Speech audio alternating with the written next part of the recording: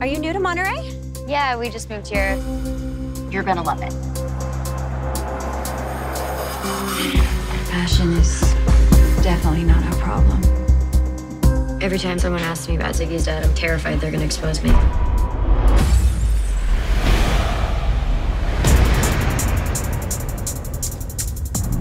We don't want anyone getting hurt, do we?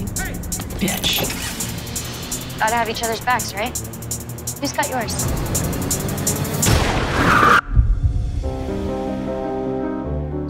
These women, they're vicious. We all do bad things sometimes.